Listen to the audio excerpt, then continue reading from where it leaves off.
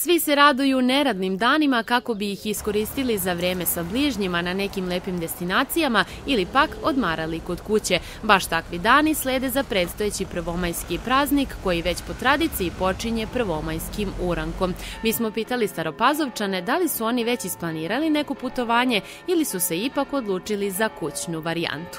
Za prvi maj ću verovatno kod kuće ostati, tako da... A jel uvek biraš tu varijantu ili nekad i putuješ? Pa nekad i putujem, bio sam prošle godine u Istanbulu. Idemo na Frušku goru. Idem za prvi maj u neku vikendicu, Vinograd, sa porodicom naravno. Gde živite?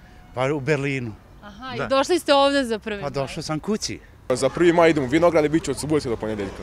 Ne, ili ideš sa društvom? Da. Kako bismo sagledali bar deo ponuda turističkih agencija za prvomajske praznike, otišli smo do jedne novopazovačke turističke agencije koja ove, za razliku od prethodne dve godine, ima mnogo raznovrsniju ponudu pošto je situacija sa pandemijom koronavirusa odavno u slabljenju. Evo gde staropazovčani najčešće provode prvomajske praznike.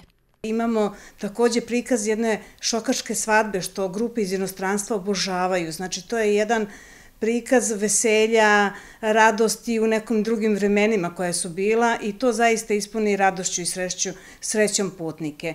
Takođe imamo krstarenje od slankamena do titela i Frušku goru neizbežnu sa divnim, divnim e, e, etno kućama, etno selima, vinarijama, našim manastirima koji su zaista prekrasni i u kojima mnogo, mnogo možemo da naučimo i da vidimo. Podsjećamo da je Međunarodni praznik rada ustanovljen daleke 1889. godine, a prvi put je u našoj zemlji obeležen četiri godine kasnije. Iskoristite ove lepe dane uživajući sa bližnjima gde god da se nalazite.